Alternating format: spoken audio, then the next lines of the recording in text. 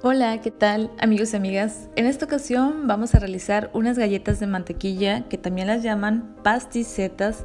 Son de origen francés y son ideales para regalar en estas épocas navideñas. Y bueno, vamos a empezar con los ingredientes que es una cucharada de vainilla, un huevo, mantequilla van a ser 180 gramos, azúcar glass son 100 gramos, una pizca de sal, harina de todo uso va a ser la misma cantidad que la mantequilla, 180 gramos, y van a ser 120 gramos de fécula de maíz o maicena. Les recomiendo todos los ingredientes a temperatura ambiente y vamos a comenzar cremando nuestra mantequilla. Ya que esté totalmente cremada vamos a agregar nuestra azúcar glass y vamos a incorporar todo esto súper bien para que se integren todo, el azúcar y la mantequilla.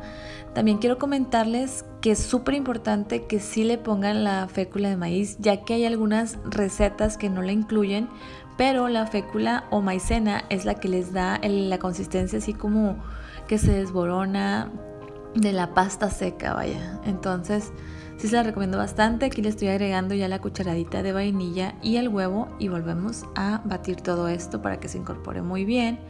Ya que se incorporó hay que cernir el harina y también la fécula de maíz y hoy vamos a ir batiendo hasta que nos quede ya una pastita.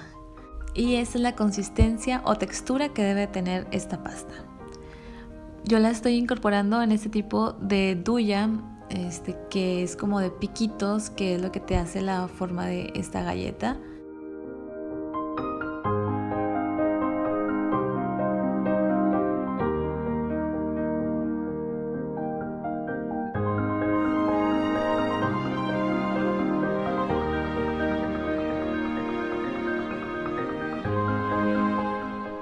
¿A cuánta temperatura se tiene que hornear estas galletas?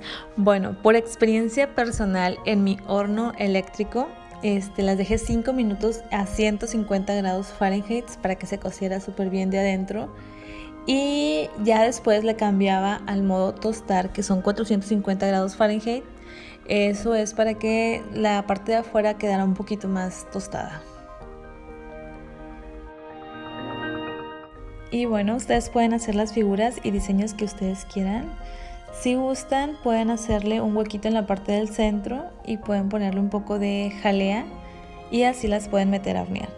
Y este es el resultado de algunas de las galletas. Les recomiendo esas galletas pues para estas fechas que las pueden regalar.